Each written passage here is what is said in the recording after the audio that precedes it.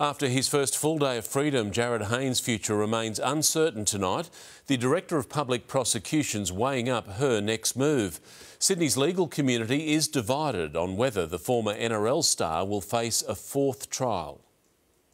He's out of prison on bail, but some believe Jarryd Hayne is not off the hook. In today's day and age, uh, I expect that Jarryd Hayne will probably face a fourth trial. That's after a hung jury and two guilty verdicts, both overturned on appeal.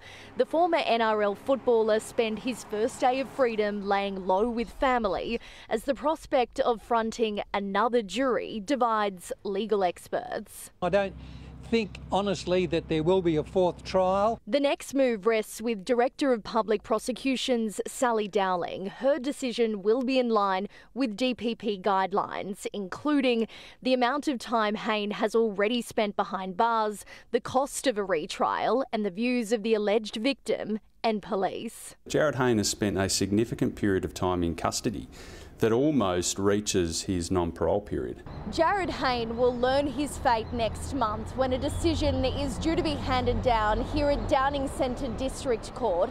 If a fourth trial doesn't proceed, some in the legal sector say he could claim compensation over wrongful imprisonment, but warn vindication could come at a serious cost. The old saying that when you get out of the lion's cage, don't go back for your hat. Annie Puller, 7 News.